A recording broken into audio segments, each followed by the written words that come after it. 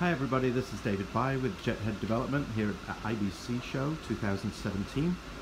We're here uh, at the Jethead stand on the Wyplay booth in Hall 5 and Jethead is once again showing the second screen video demonstration. Uh, basically an extender for the home to show broadcast video being transmitted over the home network to an iOS device in this case uh, without the need for any transcoding and with full broadcast quality.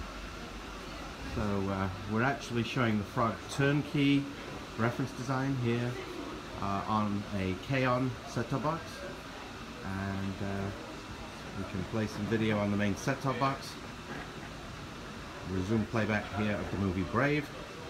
And then what we're also able to do on this box without any transcoding is retransmit the broadcast stream over the home network to an iOS device. And we run the Jethead app on the iOS device which is a full broadcast quality uh, media player uh, with a demo UI here and we can pull up the same playlist and play, play the same streams on the iPad and then we can walk around the show and conveniently watch the same content anywhere we want to go. So this is Jethead at IBC 2017.